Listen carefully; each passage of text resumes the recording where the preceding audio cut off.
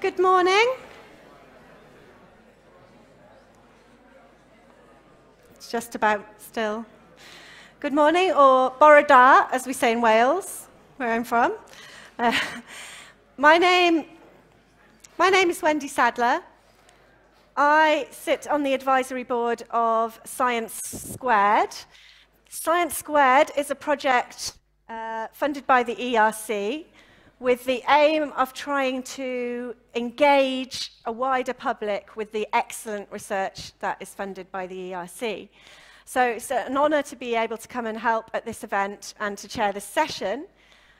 Obviously, this is a policy-based event, but we thought it would be great to actually hear from some of the researchers themselves about some of the work they're doing in an area that is of interest to everyone, when we talk, I, am involved in running a social enterprise called Science Made Simple, and it's our mission to try and engage the next generation of researchers and engineers. And it's because of that, I think it's vitally important that we use topics that the public care about and that researchers get better at communicating what they do to a public audience. So Science Squared I would urge you to have a look at the website if you haven't, sciencesquared.eu, is trying to highlight these areas of big public interest by focusing on ERC research. And at the moment, that topic, if you look at the website, is about food, which is what we're going to look at today.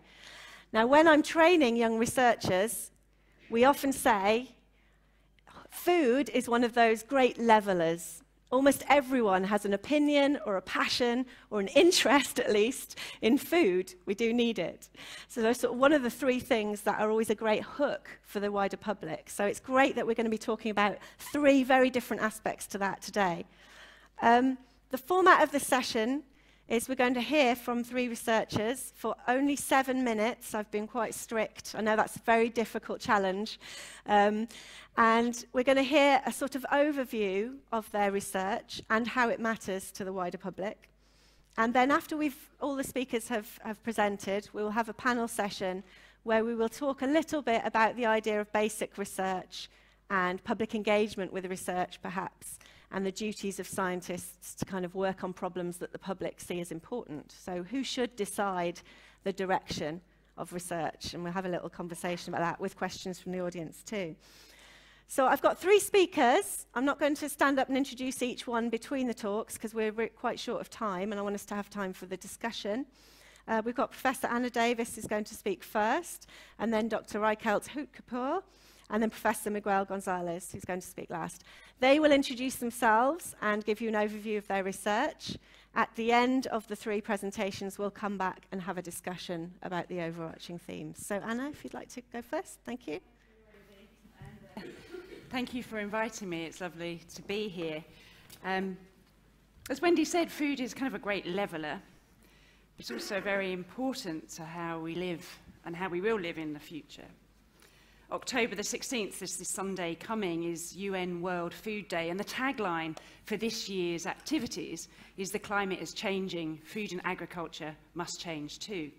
So one of the world's biggest challenges is how to create sustainable food futures. So Sharecity, which is my project, is addressing this challenge by examining the practice and sustainability potential of ICT-enabled food-sharing enterprises in cities. Well, why cities? Well, 50% of the world's population live in cities currently, and this is expected to rise to 80% by 2050. Cities also consume 75% of natural resources and produce more than a billion tons of waste, half of which is organic and mostly food waste every year. Now, food production has increased globally significantly over the last 50 years but still one in eight people go hungry. So we need innovation if we're going to meet the Sustainable Development Goals around zero hunger, health, nutrition, sustainable cities and communities. But why sharing? Well, sharing is a familiar practice.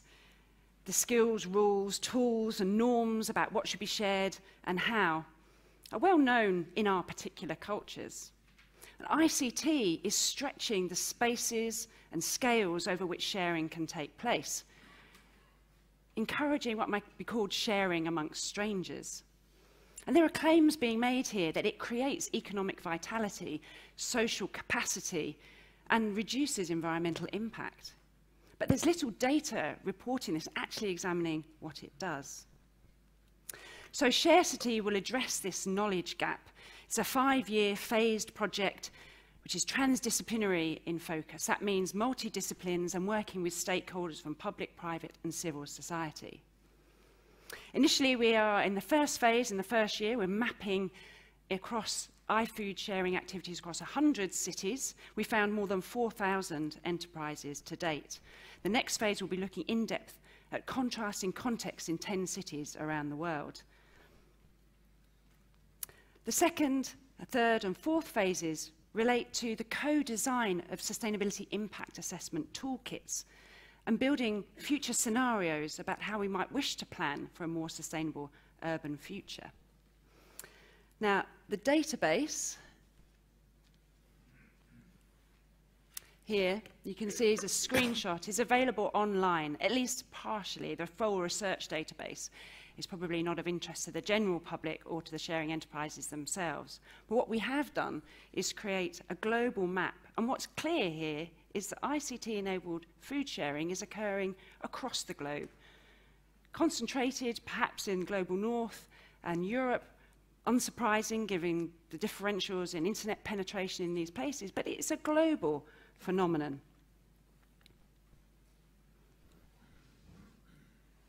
So I can't go into the details of what we found in this first phase, but what is interesting to note it is that this iFood sharing is multifaceted in its character. It's diverse. Lots of things are shared, the food stuff of sharing, but also skills and knowledge are shared, spaces are shared, whether that's growing spaces and community gardens, or co-working, cooking spaces and shared kitchens. What's interesting to note here is that knowledge and skills come out at top, but in most organizations, what we found is that they share multiple dimensions. So you might share meals with knowledge and skills or fruits and vegetables with land. What we found is that nearly two-thirds of the enterprises are involved in gifting food, so redistributing that food for free between donors and recipients. But 42% of them involve exchange for money, for profit or not for profit.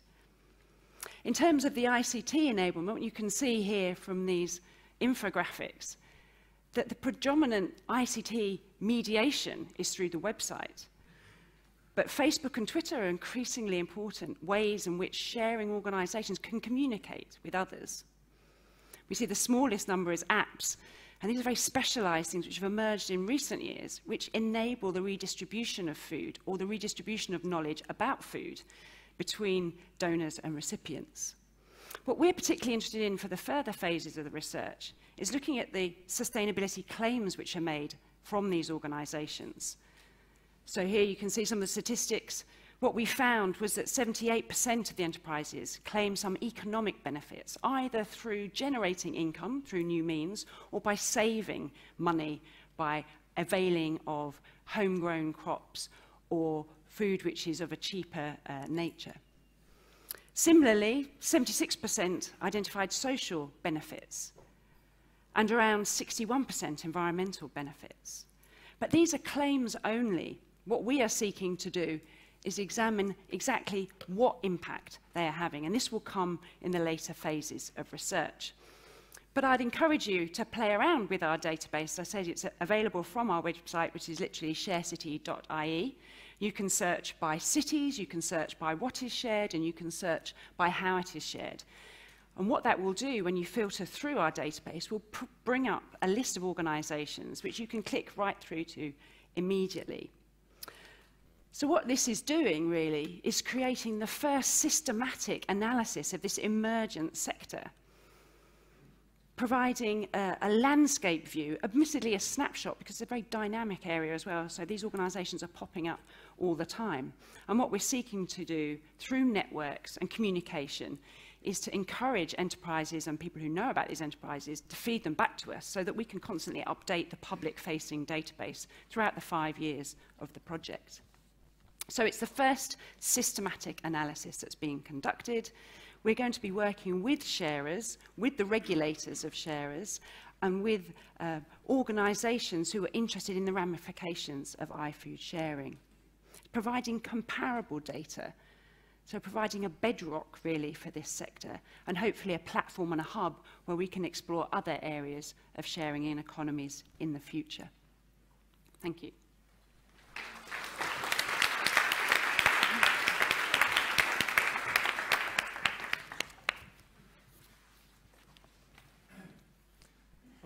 Thank you. Um, is it working? Yes, it's working. So my name is Riekelt Houtkooper, and uh, I'm a scientist in Amsterdam in the Laboratory Genetic Metabolic Diseases. And the research that we are focusing on within the context of my ERC grant is actually trying to uh, connect food research or nutritional research to aging. So the effect of foods on, on in the long term on longevity. And um, I will tell you in the next couple of minutes a little bit of what, where we are coming from, the type of work that we did, and also where we should be headed, at least in my opinion, en route to 2030. Um, and I, I, don't think I have to explain for this audience that aging is a societal challenge that we're all facing. So the aging population is growing quite rapidly. Uh, the population of 60 years and older uh, is getting 30% or more in many Western countries, uh, but actually across the world, uh, this is growing also very rapidly. And this is not only uh, uh, coming along with uh, socio-economical uh, issues such as pension age and, and similar problems, um, but at the same time also it affects uh, different organ systems, uh, so the medical issues that are, uh, come with this, uh, the brain, uh, the heart, the fat, and, and the muscle. And in each of these tissues, and I'm not even mentioning cancer, which is also age-related, uh, there's different diseases associated with that. Alzheimer's disease and Parkinson's disease in, in the brain, and many others in, in other tissues. Um, and we've come to realize over the last couple of decades that there's uh, two important factors that, that uh, contribute to the aging process. Uh, one is uh, genes, uh, which can either accelerate aging or slow down aging, and the other part is nutrition, which can do the same. Some nutritional components can accelerate your aging, and some can slow down aging. Uh, and so it's not a passive process. It's, it's, not something that just happens and in the end you die. It's something that is actually can be done something about it.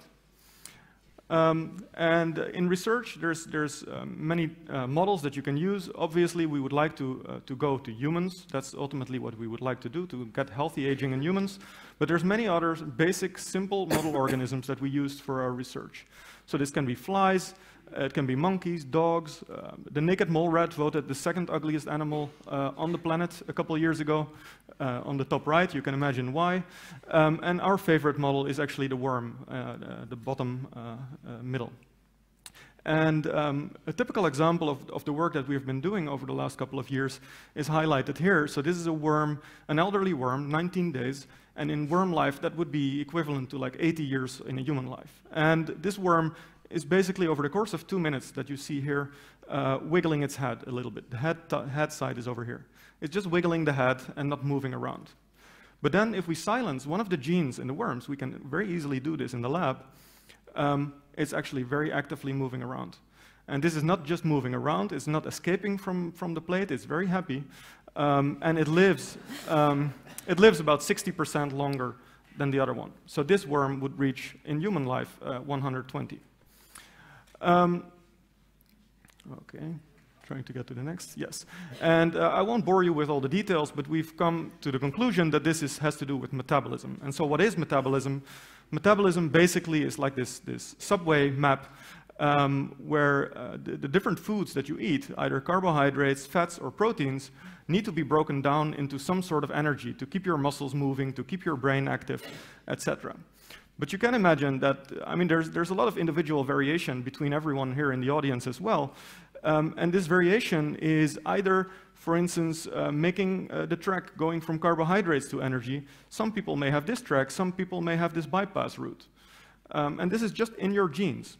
At the same time, what also contributes is the number of trains you put on each track. I mean, if you have many trains on this track, your carbohydrate will go perfectly fine, whereas others maybe are a bit more problematic. And actually, you can see this, uh, everyone, I go to the next, yes, everyone knows these kind of stories in your, in your environment, so friends and family. Uh, there's always some people that, that can eat whatever they like, uh, with, while staying skinny and healthy. Um, whereas others, uh, like myself, I have to admit, um, even when eating only a salad, already gain a couple of pounds. Um, and uh, in the long term, have the, the disadvantageous uh, effects of these diets. Um, and so this is what we try to understand, but we don't do this in humans. We like to do this in a population study. And again, as I said, we love to work with these worms.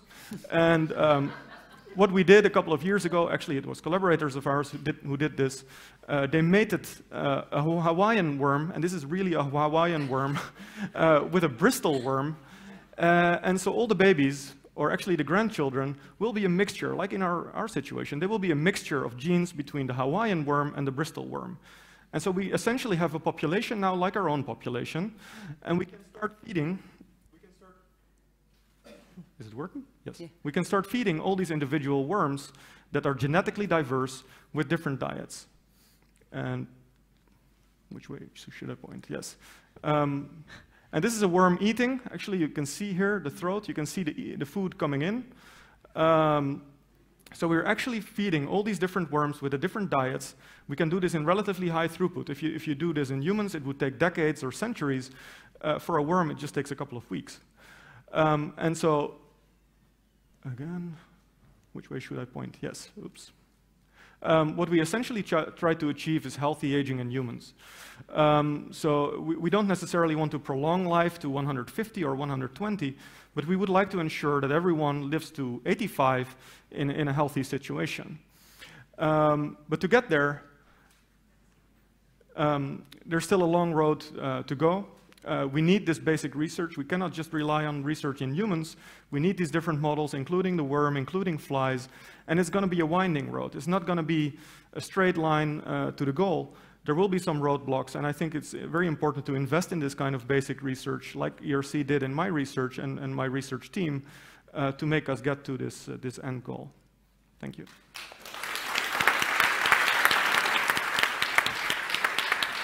Congratulations.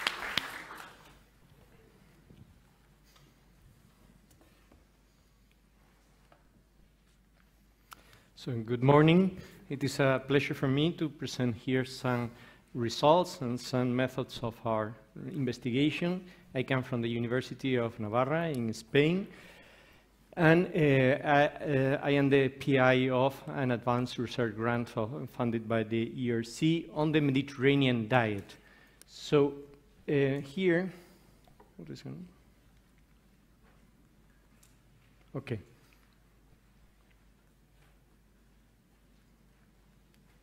So this is the, the, the bad news.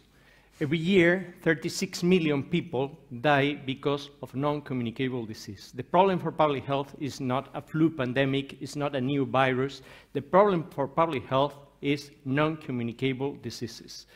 So three out of every five deaths in the world are due to these NCDs, non-communicable diseases. So this is not working. Okay. So we can count one, two, three, who is going to receive hmm, the chances? Is this like a Russian, Russian roulette? What is this? Hmm? So it is not a Russian roulette. It is highly preventable because ma many of these, of these deaths are occurring before 60 years, 9 million a year, and they could be preventable. So here we have the projections. Nowadays, we have every year 80 million deaths because of cardiovascular disease, almost 9 million deaths every year from cancer, and the projections are, for example, for cardiovascular disease, about 24 millions for 10, 2030.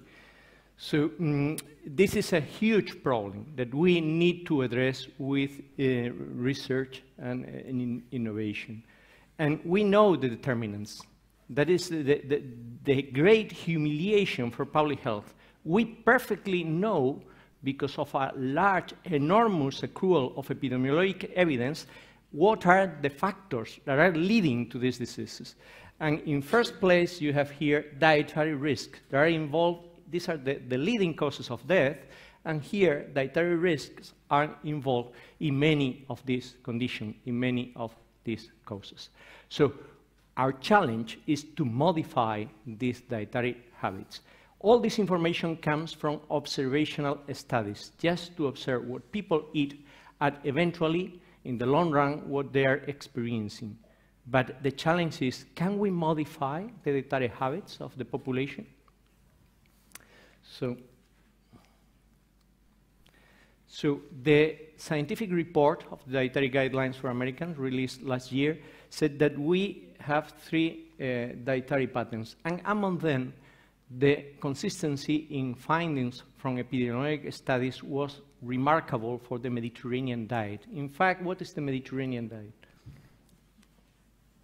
The Mediterranean diet gives, uh, this is the most frequently used score that goes from zero to nine points, gives one point if the consumption is high of the ratio of monounsaturated to saturated fat, fruits and nuts, vegetables, cereals, legumes, and fish, and a low consumption of meat, especially red and processed meats, and whole dairy, and then a moderate consumption of alcohol, mainly in the form of red wine with meals.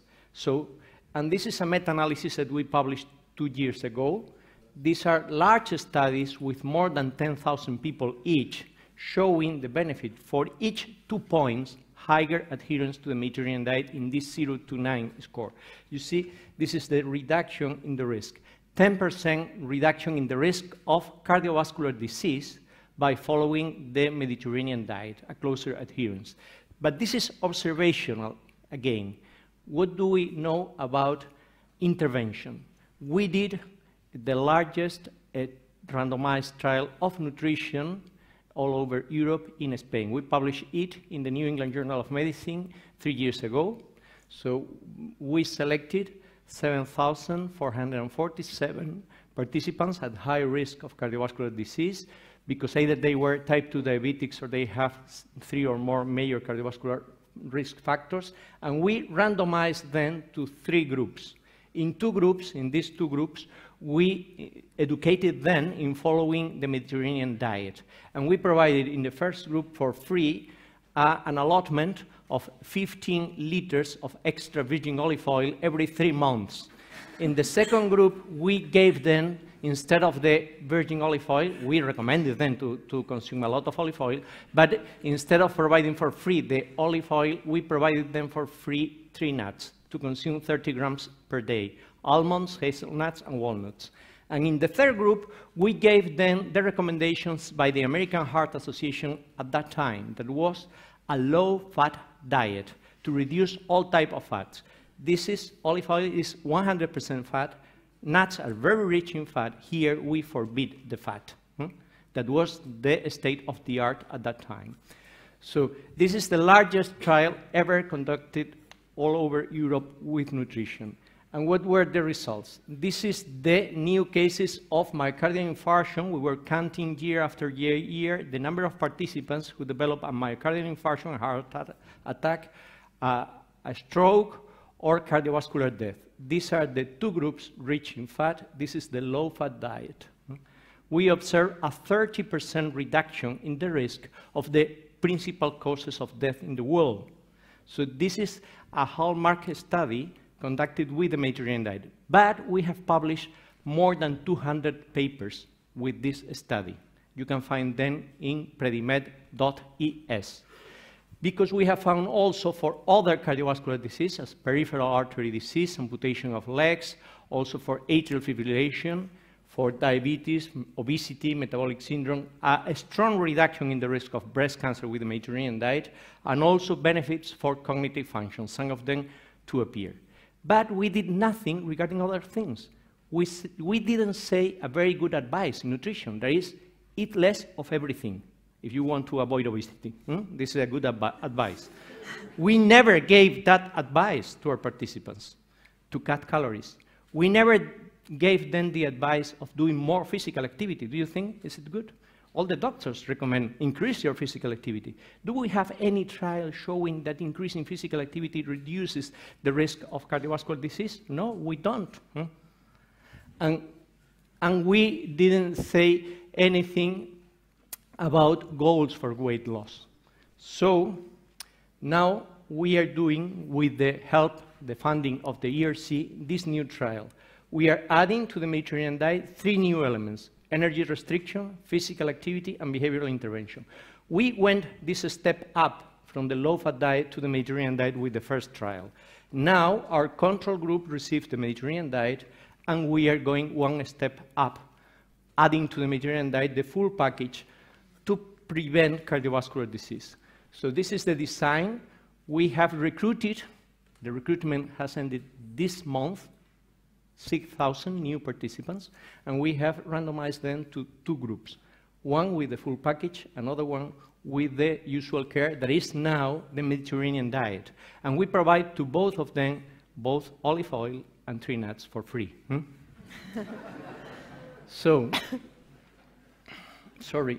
Uh, and this is the 17 item screener that you can find here with the explanation. All things in green is to increase, to be increased, and all things in pink is to be reduced. So I don't have enough time, but you can find in taste tests, you can find everything explained. So these are the changes in the first participants after six months and one year. We have observed an increase in the adherence to this 17 screener, 17, uh, 17 item screener, of energy restricted, this means energy restricted Mediterranean diet at six months versus control and also at one year. And also weight change. Without any medication for weight change, we have observed 5% weight change, significantly higher than control in the first participant, and also fitness. The chair fitness test is to count how many times are you able to stand up and sit down in 30 seconds from a chair. Hmm? So Mm, it is a very easy test in the medical practices. So we have found also a benefit here. So in summary, the real threat is non-communicable disease.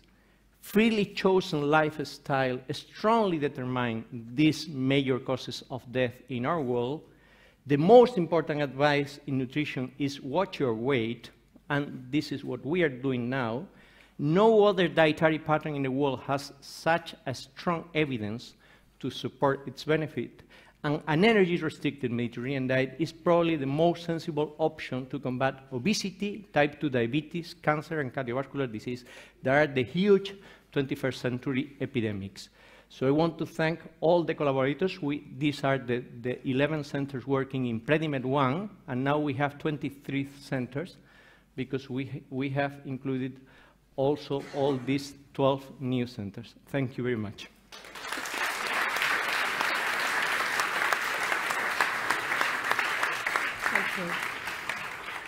Great, three fascinating topics I've learnt uh, a lot even in those seven minutes. I particularly like the one to two red glasses of wine a day take away, as well as eat less. Um, so we're hopefully just about, we got five, ten minutes, yeah?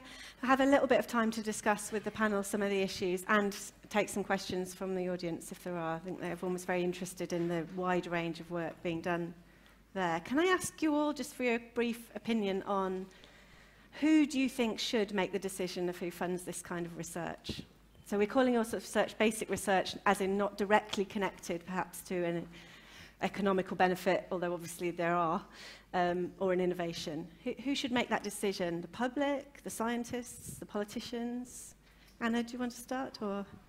That's a tricky one. Yeah. Uh, I think you know it's. Uh, I think it benefits everyone ultimately. Mm -hmm. So I mean, I think there's shared responsibility to invest um, the difficulty is the benefits are not necessarily immediate, but that is also the strength of the ERC scheme, is that it allows blue skies thinking to address um, and approach issues in new ways, novel ways, without being guaranteed of success. Lots of other funding streams almost require you to know what you'll find before you do the research, whereas we're allowed to experiment, and that's what we need with these meta-societal challenges. Yeah. Okay. How about the others? I, I, fully agree with, with that. I, I think scientists, for, for a large part, should decide which direction to go. I think it's sometimes difficult to predict uh, which direction uh, will be successful. Mm -hmm. um, I think there are some new initiatives also for in the Netherlands, for instance, with the research agenda, which basically allowed all the, the general pu public to pose questions that researchers uh, should solve. Fortunately, there was some sort of filter at the, at the researcher level to group all this, these questions into clusters, into themes that, that are attractive for the public to, to investigate, and I think there's some, uh, some benefit in that uh, to, to make sure that at least part of the research uh, connects to what the public wants, but I think there should still be a large portion of the budget that is fully open um, and gives you the freedom to explore uncharted territory. Okay. Mm-hmm. I, I, I, agree that the, the scientists should have the, the major part in the decision mm because the, the, a grant, the proposal for a grant need to be soundly based in good science and also the scientists are in a better position to judge the feasibility mm of the study that you are intending to do. And for example, uh, what about the other stakeholders? I mean, the food industry in our field. Well, if I send this proposal to the producers of olive oil or nuts, they will go to yeah. give me funding. Yeah. I did not. Hmm? Yeah because I don't want to create a conflict of interest. I want to be completely free of the food industry when I say something. And this is even better for, for the food industry mm. because this guy is independent of us and is saying that olive oil or tree nuts are reducing heart disease. So it is better yeah. to keep apart those who have a conflict of interest yeah. with the result of the research. And I think that's one of the reasons a lot of the surveys show the public have a really high level of trust in scientists, particularly those who are independently working at universities, because because of that reason they're not held accountable to anyone with a vested interest and keeps that really clear.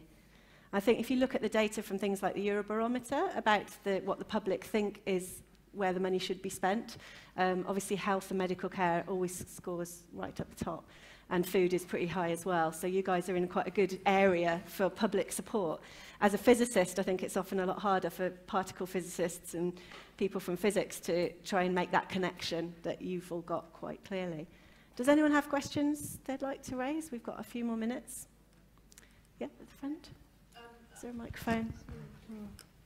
Thank you.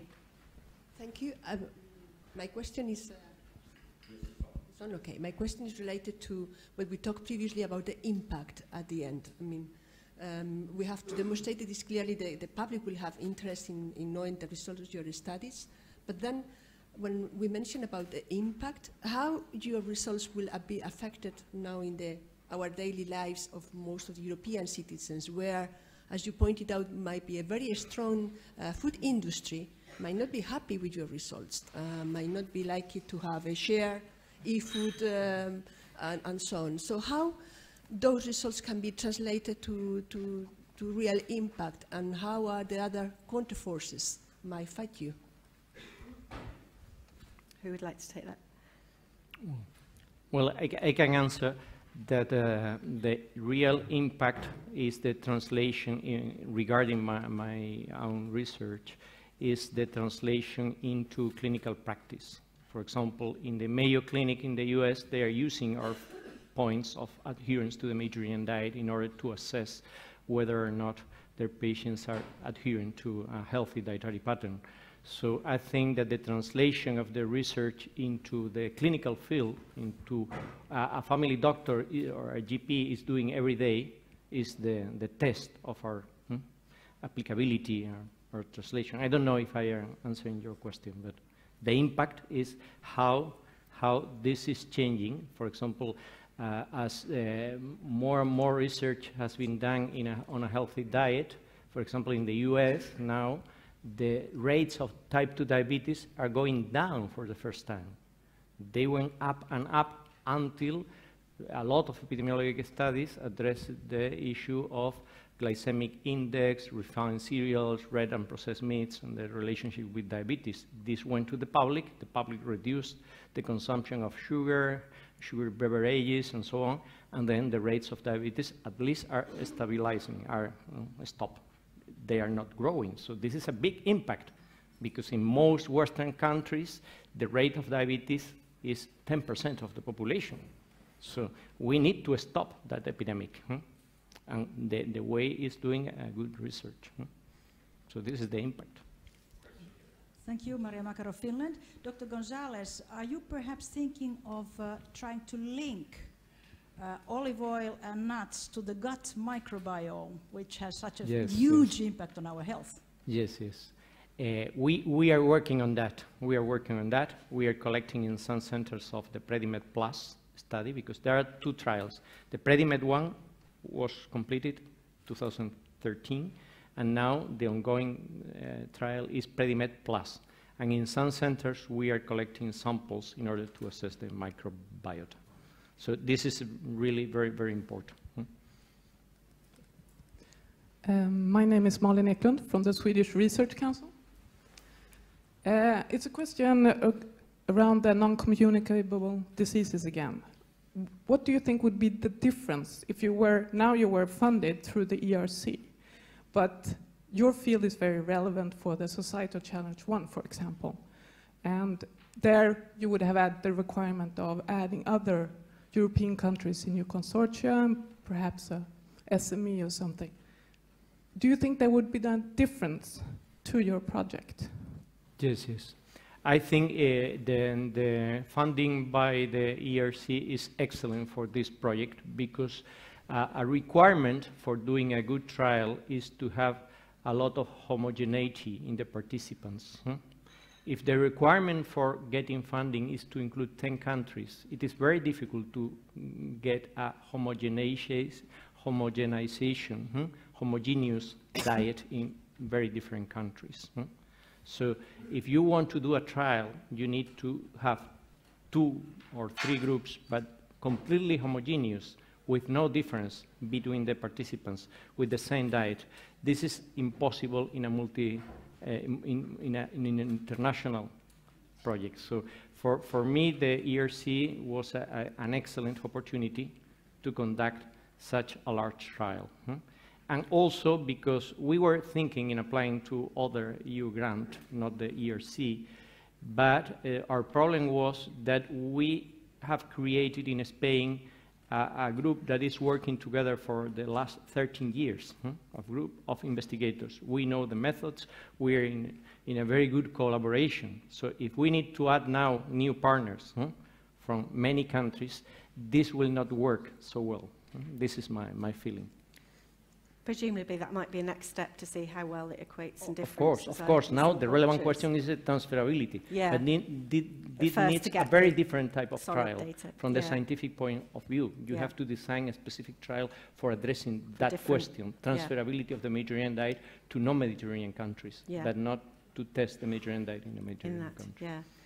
Do you want to respond to the impact question from two quite different perspectives and how you yeah. think your work will translate into that societal impact? Yeah, it's actually an interesting point. And I think, for instance, the work that we are doing in worms, I mean, it's a long way from applying this to, to the human situation. So I think it's a fair point. But I think that's what makes ERC scheme uh, such a powerful research scheme. Because, I mean, you can do this blue sky research without knowing the exact impact. Of course, all the funding bodies, the, whether ERC or national funding bodies, they ask you to think about the potential impact and how this knowledge will be utilized in the end by the general audience. And, and I think with this type of research, it's always quite easy to justify that there is a long-term um, uh, benefit.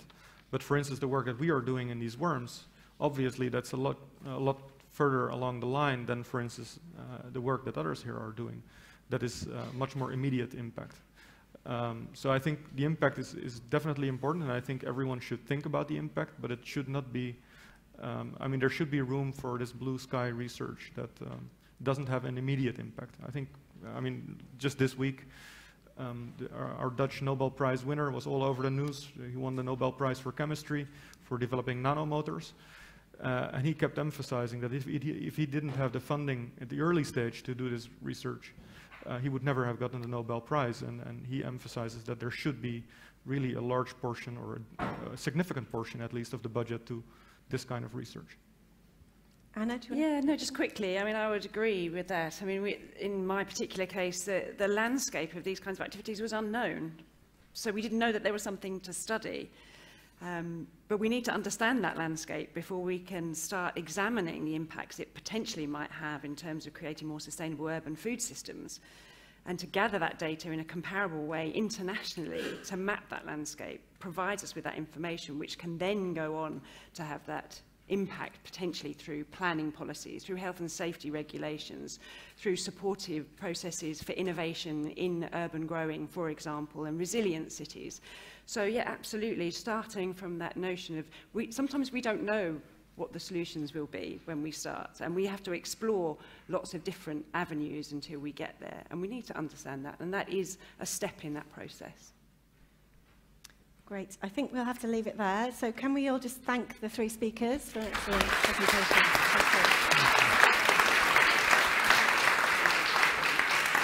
Thank you, thank you very much to, to all of you and to Wendy as well. Um, I should I should just say a word of explanation.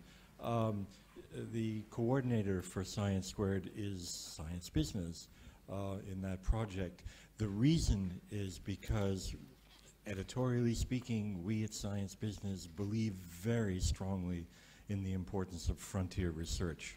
And um, it isn't because we have universities who are members, it's because we have companies who are members. And I do not know a single major company R&D director who does not believe that the public sector should be supporting frontier research because for the most part, the companies won't do it. So somebody has to do it to provide the future. Anyway, thank you very much to the panelists. And um, I should say, uh, we go now to the workshops. Uh, I can't, uh, you, there, uh, is it up on the, uh, put the, uh, yeah, the rooms, yes, you can see them there. So just running through it. The health workshop is right here in the Horta room. That's the plenary room. Is that, have I got that right? Yes, okay. Uh, the uh, uh, energy and resources is in the ENSOR room, which is downstairs. The security and defense workshop is in the Grand Salon upstairs. Uh, and the cars, connected cars workshop is in the Falone room, also upstairs. So we scatter a bit, and then we'll come back to lunch. And I don't know if olive oil is on the menu, but I sure hope so.